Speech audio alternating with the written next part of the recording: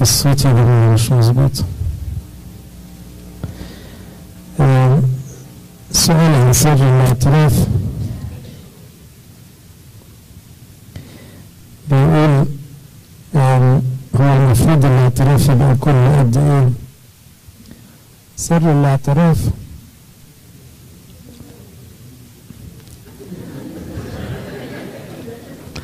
سر الاعتراف أيوه كده أحسن شكرا. المفروض يكون بفريكونسي تتفق فيها مع أبوك الروحي. يعني يفضل في الشباب في الفترة اللي فيها تحديات وتغييرات كتيرة يبقى كل شهر. مع الكبار ممكن كل شهرين كل ثلاثة. لكن لما تكون متضايق روح لأب اعترافك الموضوع مش لازم في ميعاد ثابت.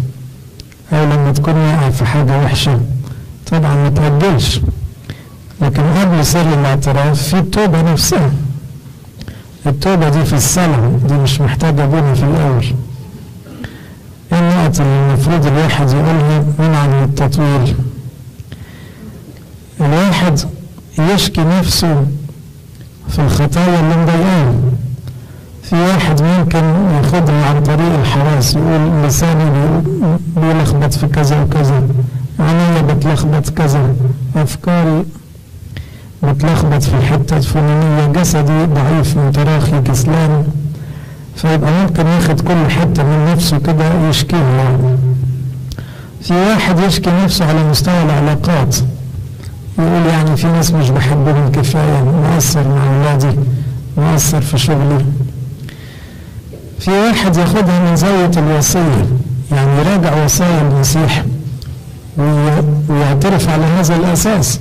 لا تدين لا باع في الإدانة لا تكذب باع في الكذب. فيبقى من منطلق الوصية بيعرف يطلع بالاعتراف بتاعه.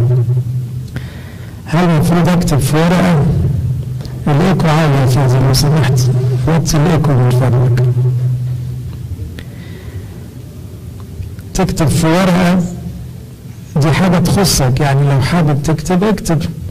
إنما في واحد بيبقى عاوز يقول من غير ما يكتب. فما نقدرش نقول لازم تكتب دي حاجة بيرسونال يعني. هل ممكن الاعتراف على كاهن مش موجود في الولاية؟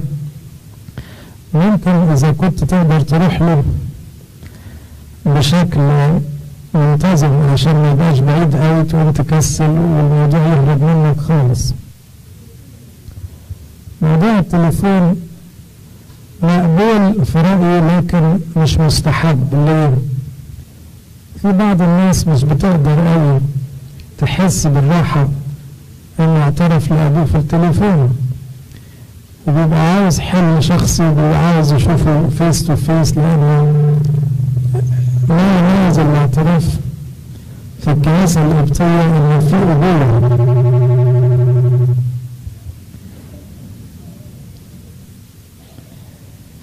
لكن في ناس بتبقى مش قادرة غير كده. يعني بتكمل مع أبوها في في مصر يعني ومش عارفة ترتاح بسهولة للكائن الموجود. برضه لا أحسن من بلاش.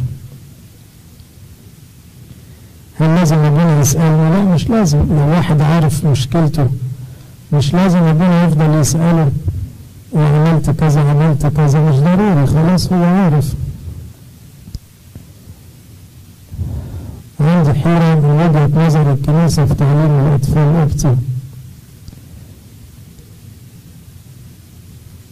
وترك الاهتمام بالكتاب المقدس. بصوا كان ينبغي أن تفعلوا هذه ولا تتركوا تلك. يعني القبطي حلو طبعا عشان يربطهم بأصلهم القبطي لكن الأهم طبعا فمش حاجة جميلة إن واحد يكون عارف قبطي كتير ومش عارف ولا آية كده يطلع قبطي بس مش مسيحي. فطبعا ده مش تفكير سليم. الإنجيل هو مرجعنا الأساسي هو أساس خلاصنا.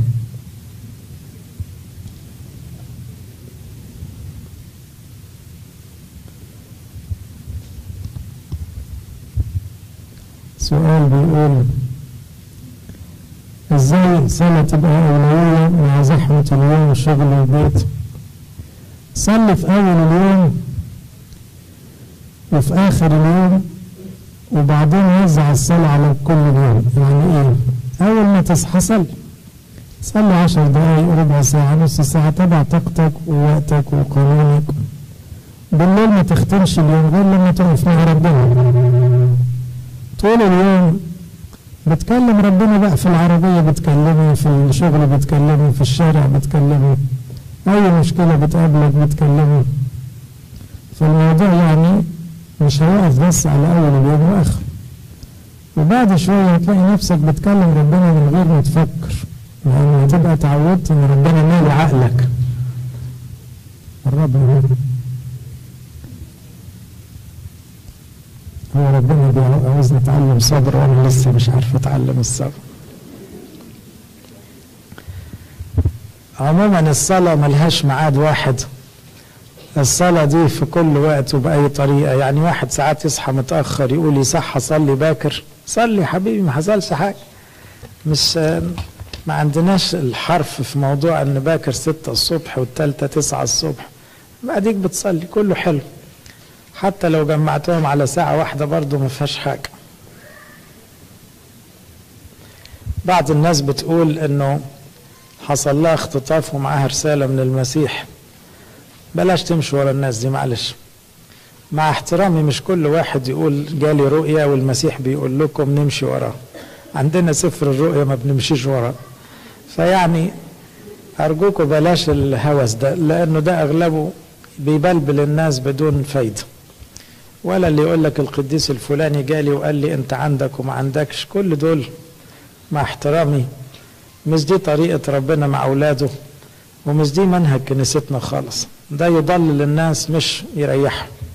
وفي ناس بسيطة بتتعلق بأشياء فيجري ورا الحاجات دي على حساب سماع صوت الله في الإنجيل وفي الكنيسة وفي التوبة. ما هو التجديف على الروح القدس؟ التجديف على الروح القدس الخطية اللي قال عنها المسيح لا غفران لها. شرحوها الآباء من زاوية أن واحد رافض عمل الروح القدس لغاية نهاية عمره. الروح القدس دوره الأساسي يخليك تؤمن ويخليك تتوب.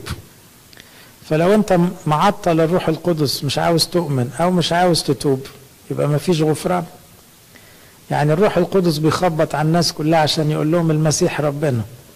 لو هم رافضينه لغاية نهاية العمر يبقى تجديف على الروح القدس. والروح القدس ممكن يخبط على باب واحد مسيحي يقول له توب ويفضل لآخر العمر رافض التوبة يبقى برضه اسمه جدف على الروح القدس. لكن التجديف على الروح القدس مش واحد مرة غلط وشتم ربنا لا. ما دي كده بولس كان نفسه مجدف. لا كل الخطايا تغفر لبني البشر. لكن التجديف على الروح القدس معناه العمر خلص وانت لسه رافض ربنا تماما ورافض الرجوع ليه.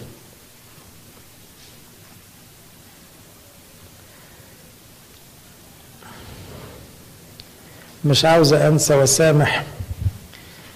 بصوا يا جماعة جهات في التسامح جهات حلوة عند ربنا.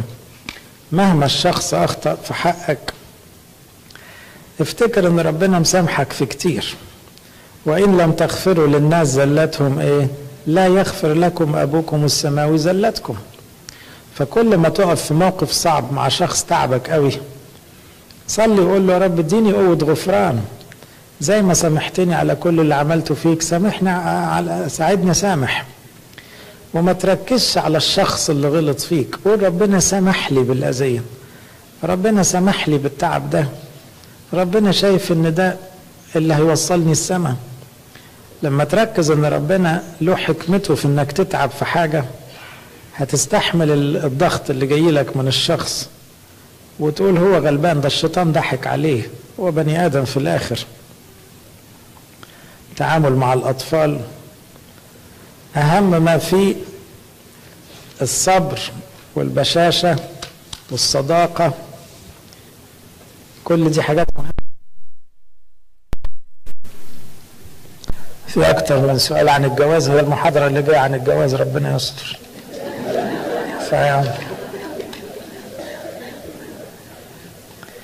طيب ممكن عشان الوقت برضو إيه عمال يقصر ناخد درس كتاب؟